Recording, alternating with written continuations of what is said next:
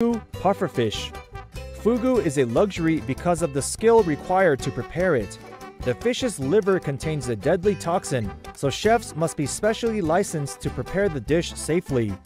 The thrill and danger associated with eating fugu contribute to its weirdness and exclusivity.